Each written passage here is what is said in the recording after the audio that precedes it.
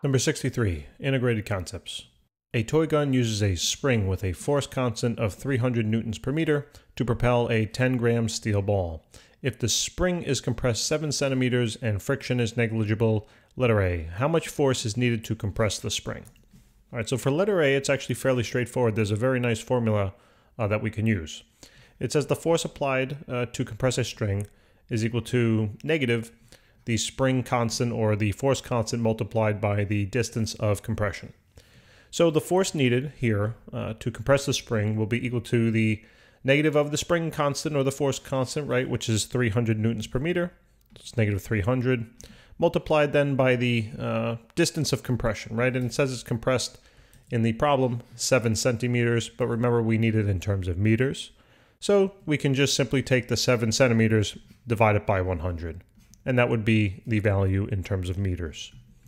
So just plug it into the calculator.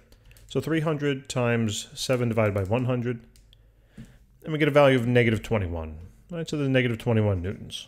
All right, so that's the force needed to compress the spring, and then, um, well, let's take a look at letter B and see what happens next.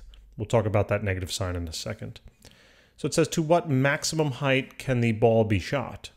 Okay, so now if we think about, so for letter B, let's change the color.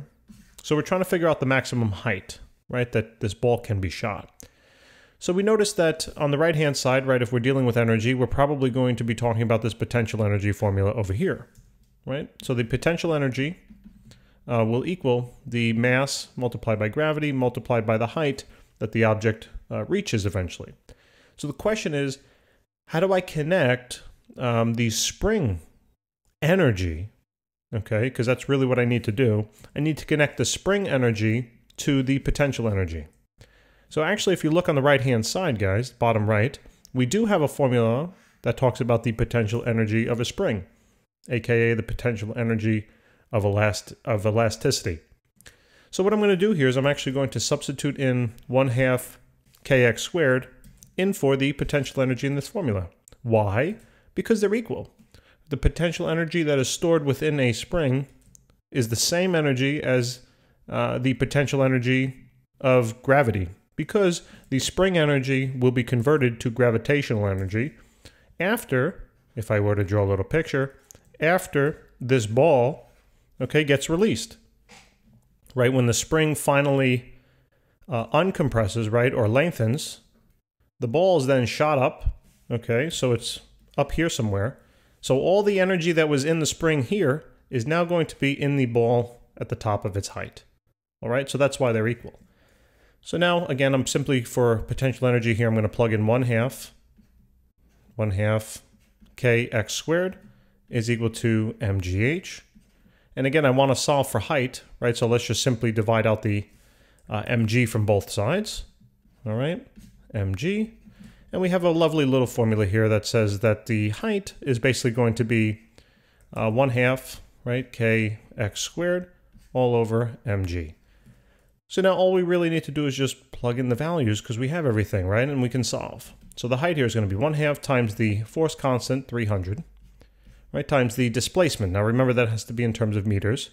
I can plug in my 700, excuse me, my 7 over 100, or I can just simply move that decimal two places to the left.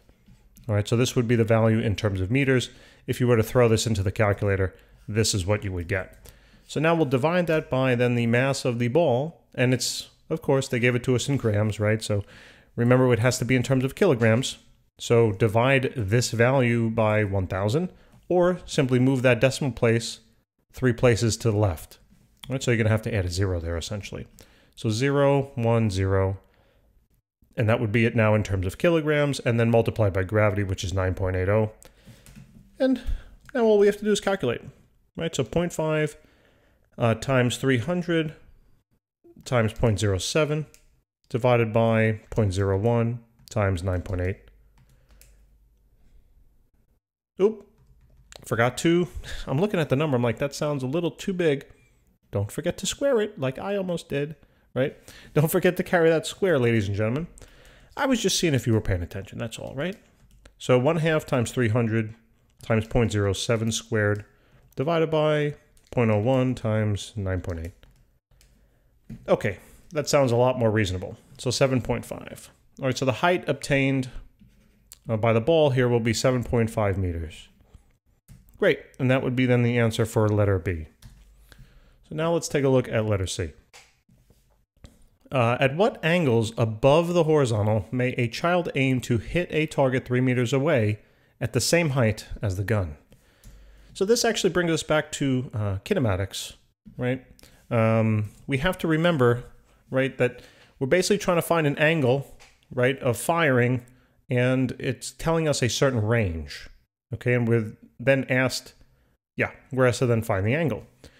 So uh, recall this formula. This formula was very nice. It says that the range is equal to the initial velocity squared, not in any particular direction, but the overall resultant initial velocity, multiplied by the sine, all right, of 2 times the initial angle, all over g. All right, so basically if I had my picture, let me draw it up here on the upper left. I'll just erase some of this stuff. So uh, if I had to draw a quick picture, basically what I'm looking to do is I'm looking to Here's my initial angle. This thing is being fired with some initial velocity, right, that we don't know. And the ball is going to travel something like this. It's going to eventually land over here. And this is the range, right? This would be the range value. And that is, well, it's not really a question mark, right? They want to know the angle if the range is three meters. Okay? So basically, you know, in terms of this formula here, what do I need to solve for? I need to solve for my theta right? So why don't we just start setting that up now? And let's get all the variables on over to the other side. So the g comes out of the denominator on the right, goes up into the numerator on the left. The initial velocity squared uh, leaves the numerator on the right and goes down to the denominator on the left. So basically then it would be sine of 2 theta, okay, is equal to range times gravity all over the initial velocity squared. Okay, so that sounds all great, right? Um, now what we need though, we're going to realize, um, I mean, from here, we know that we're going to have to do the inverse sine eventually, right? But let me just save that just so it doesn't get too crazy here with too many algebraic steps. I'm going to start to try to figure out these numbers, all right? Uh, I mean, two of them I don't need to figure out, right? The range they told us is 3 meters, and gravity is obviously uh, 9.80. So the only piece that's really left is going to be this idea of the uh, initial velocity, right? So we have to figure out, well, how do I find uh, the initial velocity here? You know, what, what do I need to know? And so on and so forth. So we have to remember that, you know, maybe I can somehow relate the initial velocity to the kinetic energy. All right, maybe maybe I can do that. Maybe I can make that relationship, right? So if we think back to the problem again, right? If I think back to the spring problem. So here's the here's the spring, it's compressed. All right. Then what's going to happen is the spring will become uncompressed. All right. And let's say the ball is still on it, right? But it's just about to leave. Okay, just about to leave the spring. And then there's a third case, right? The third case is now when the spring is totally lengthened and the ball is in the air. Okay. So in this particular case, all the energy here, all of the energy is in the potential energy of the spring. Okay? All of it is tied up in this spring. As soon as now the spring is uncompressed, all right, all of this potential energy then that was stored in the spring is now released into kinetic energy that is inherent now inside of uh, the ball here. Okay, so in this ball now, at this stage, it is all kinetic energy, okay, right before it gets released. And then going from this point now to its highest point all the way at the top, this all of this now kinetic energy at this point is now translated into pure at the highest point, pure potential energy. It's all potential at the top. All right? You know, so think about it. So we have these three stages, right? Letter B I took into account, I was comparing this stage to this stage. Okay, that's why I was saying all the potential energy in the spring will eventually be converted to pure potential energy due to gravity at the highest point. But for right here, if I'm looking for the initial velocity of the ball, I want to frame the problem this way, where after the spring is compressed, or I should say this, after it's compressed, right, it's fully lengthened, all of that energy in that spring is now converted into energy of motion of the ball. Okay? So, all right. So now, basically, what I need to do, all right, is I need to um, solve this, okay, for v squared, okay, because the if I'm I'm really trying to find the initial kinetic energy, and if I find the initial kinetic energy, that means I want to know the initial uh, velocity. Remember, the initial kinetic energy here is the same thing as the potential energy of the spring. Okay, so uh, let me write this, running out of room. I'll write it on the upper left. All right, so here we have the kinetic energy is equal to 1 half mv squared. And we said that these are going to be initial, right? So solve for v squared, you just got to divide out the half and the m, right? So here we have the initial velocity squared should be equal to uh, the kinetic energy initial, right, divided by 1 half times the mass. Now remember, the kinetic energy here, as I said before, is going to be the same as the potential energy in the spring. All right, so that they're literally the same thing.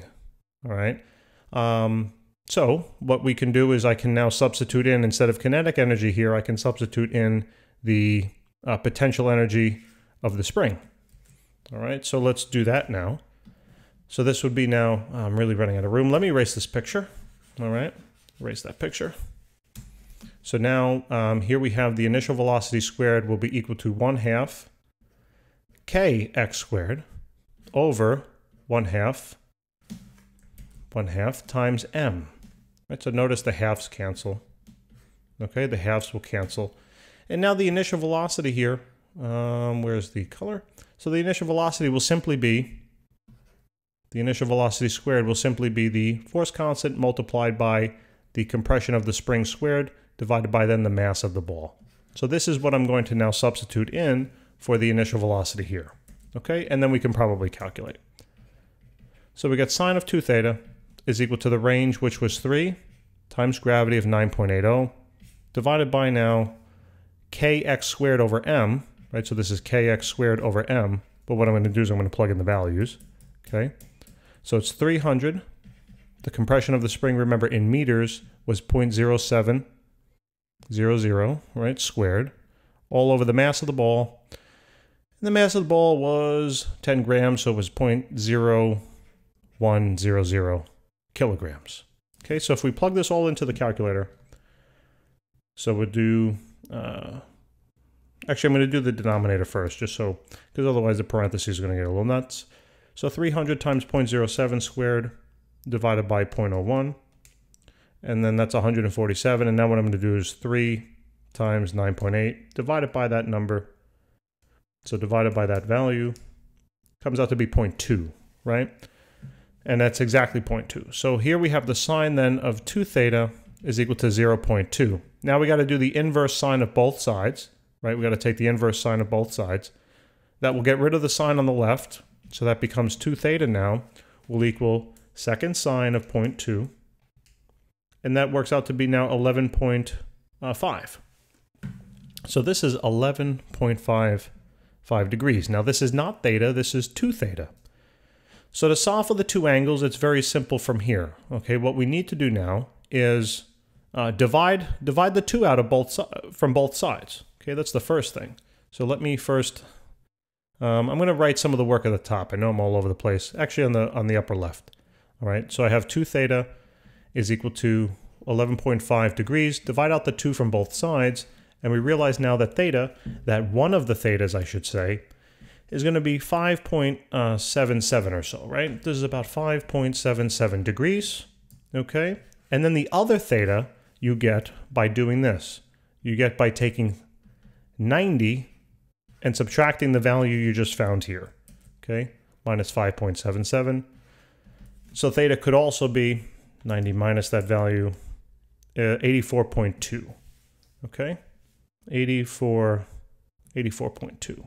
So here we have 84.2 2 degrees. So these would be the two angles. Okay, and you can go plug them back into this formula. You solve for the initial velocity here. All right, I already told you what the formula is, you know, um, so you can just check the work. All right, so that shouldn't be too bad. So those are the angles. Now um, it says, what is the gun's, for letter D, what is the gun's maximum range on level ground? So again, we're going to use the same, um, the uh, same formula here.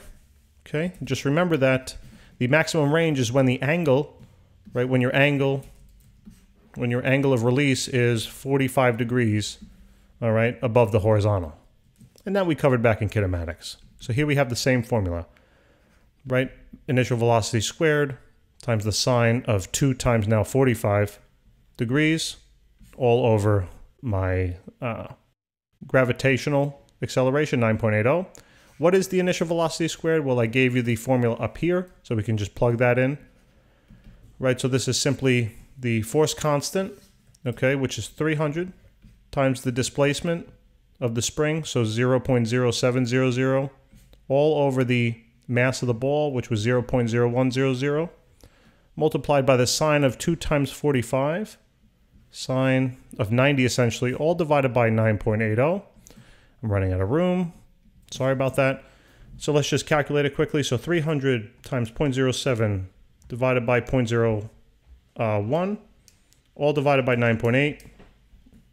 And here we come up with a value of uh, 214. Right? Did I? Nope. Yep, sounded too large again. I almost did the same mistake. What did I do, guys? Forgot to square this again, right, right here. Okay, I forgot to square that. So make sure you put in that square. Always, though, check to make sure your answers make sense.